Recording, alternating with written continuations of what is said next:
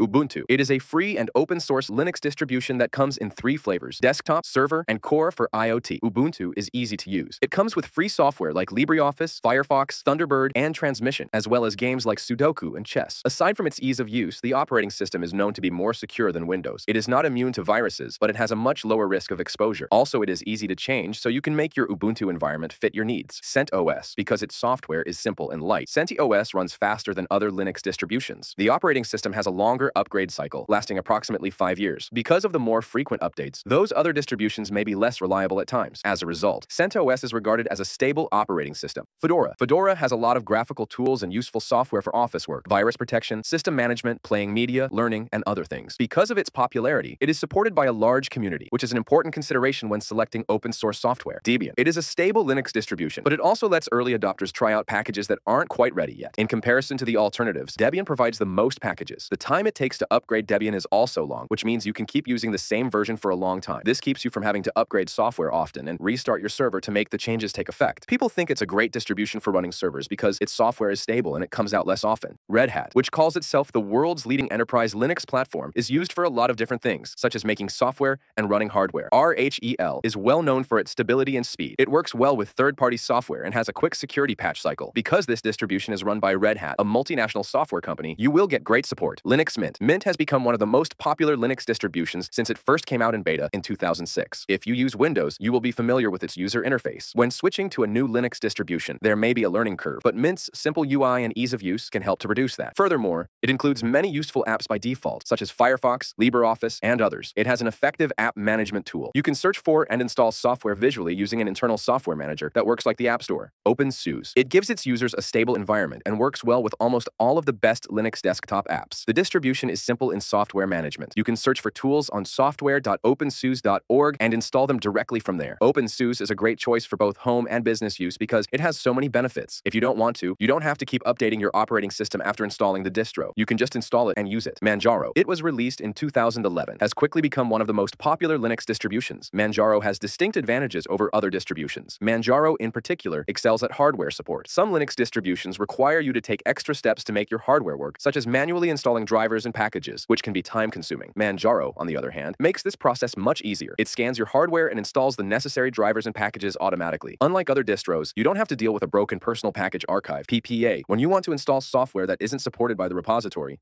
Elementary. It was released in 2011, distinguishes itself from other distributions by including its own desktop environment called Pantheon. It has its own user interface and apps as well. Elementary OS has a minimalist design that focuses on simplicity, making it simple to learn. This minimalist design allows users to focus on what is important and increases productivity. OS Zorin. For those new to Linux distributions, Zorin OS is a good place to start. Its user interface looks like Windows, and in Zorin's premium editions of OS 9, you can change the user interface to look like Apple's Mac OS. One of Zorin's strengths is its speed, and its operating system supports over 55 languages. Kali Linux. I made a whole video about Kali Linux. Check it from here. Arch Linux. It's a lightweight and flexible Linux distribution designed for advanced users who value simplicity, control, and customization. It follows a rolling release model, meaning the system is continuously updated without the need for major version upgrades. This ensures users always have access to the latest software and kernel features. Arch is known for its minimalistic approach, offering only a base system that users build upon by manually installing and configuring everything, including the desktop environment. This hands-on approach encourages users to learn more about Linux internals, making it a popular choice for those who want complete control over their operating system while maintaining a lean setup. Arch's package manager, Pacman, allows easy installation and management of software, and the Arch user repository provides access to a vast collection of community-driven packages.